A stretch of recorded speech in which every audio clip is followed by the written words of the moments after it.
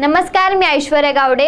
A T V न्यूजमध्ये आपल्या सर्वांचे स्वागत. एम आय डी सी हद्दीत असणाऱ्या लष्कराच्या के के रेंज भागामध्ये रात्रीच्या सुमारास स्फोट होऊन यामध्ये खारेकर्जुने गावातील दोन जण मृत्युमुखी पडल्याची घटना घडल्यामुळे शहरामध्ये एकच खळबळ उडाली आहे.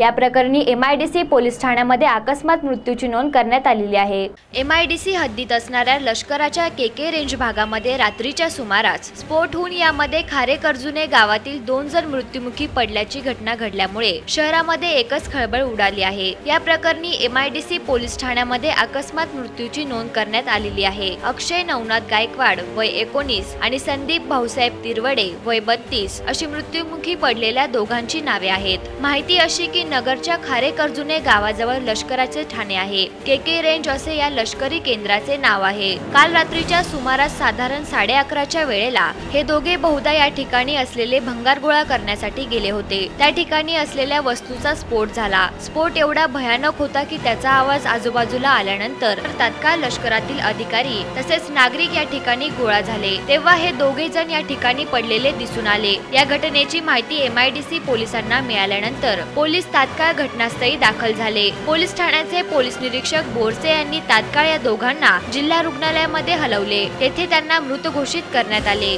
प्रतिनिधी आमिर सय्यद एटीव्ही न्यूज अहमदनगर.